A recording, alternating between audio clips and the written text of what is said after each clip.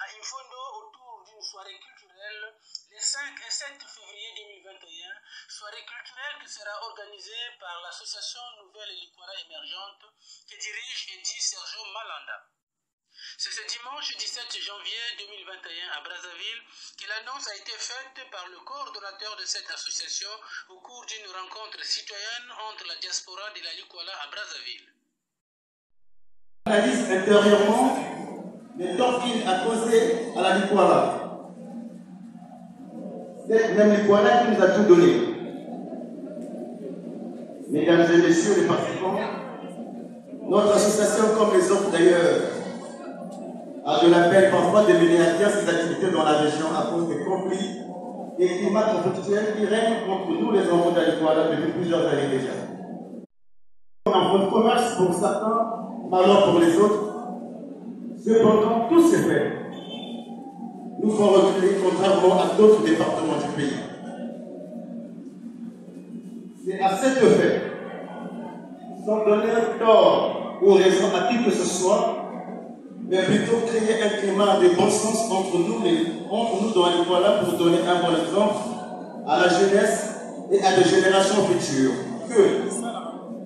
Nous prenons cette initiative d'unir les Lituaniens et de faire communier rituellement autour de la soirée culturelle qui se tiendra au 5, du 5 au 7 février 2021 à Lekondo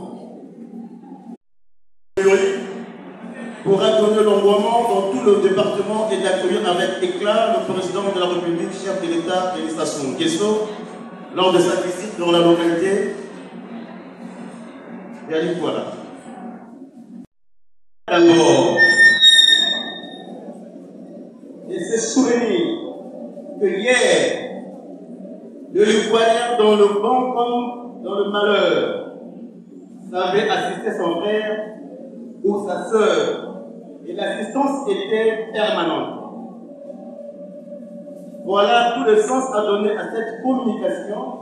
Et enfin, au nom de l'association Nouvelle Étoile Émergente que je dirige, je lance officiellement les festivités de la soirée culturelle du 5 7 février 2021 à Yépondo.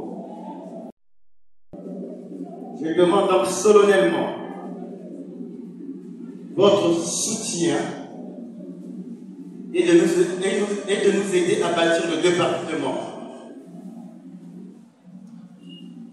Toute forme de contribution les Libanais souciés et œuvrant pour l'amour, pour l'amour et la paix, vos dons et legs sont les bienvenus.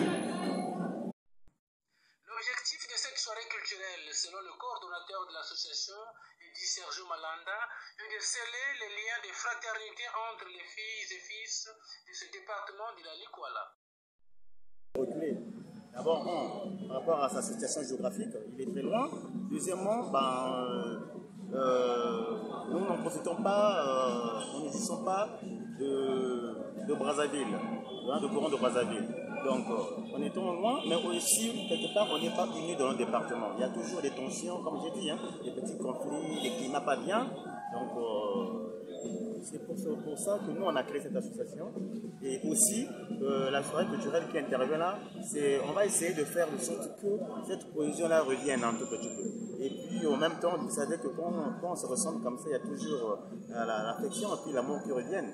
Donc, on espère bien que euh, pendant, le, pendant le déroulement de la soirée culturelle, il y aura cette, ce, climat-là qui va va, qui va nous, nous secouer afin que nous puissions ensemble se réunir et s'unir en même temps.